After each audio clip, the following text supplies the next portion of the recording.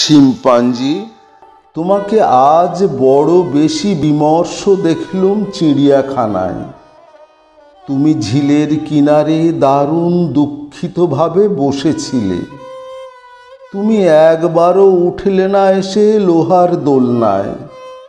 চাপা কলা বাদাম, কাবলি ছোলা, সব কিছু উপেক্ষিত ছড়ানো রইল। তুমি ফিরেও দেখলে না। দুঃখী মানুষের মতো হাঁটুর ভিতরে মাথা গুঁজে ঝিলের কিনারে শুধু বসে রইলে একা। শিম্পাঞ্জি, তোমাকে কেন এত বেশি বিমর্ষ দেখলুম? কি দুঃখ তোমার? তুমি মানুষের মতো হতে গিয়ে লক্ষ লক্ষ লক্ষ বছরের সিঁড়ি ভেঙে এসেছিলে। তবু মাত্রই কয়েকটা সিঁড়ি টপকাবার ভুলে মানুষ হওনি। এই দুঃখে তুমি ঝিলের কিনারে বসেছিলে নাকি? শিম্পাঞ্জি।